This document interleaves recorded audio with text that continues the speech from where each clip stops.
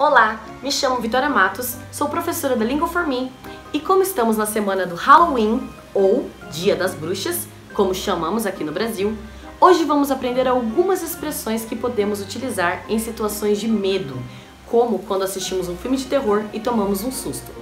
Podemos dizer: Ah, não! Que medo! Que susto! Que horror!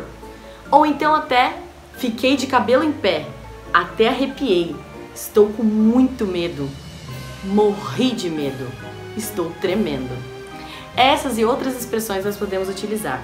E aí, o que você achou dessa dica?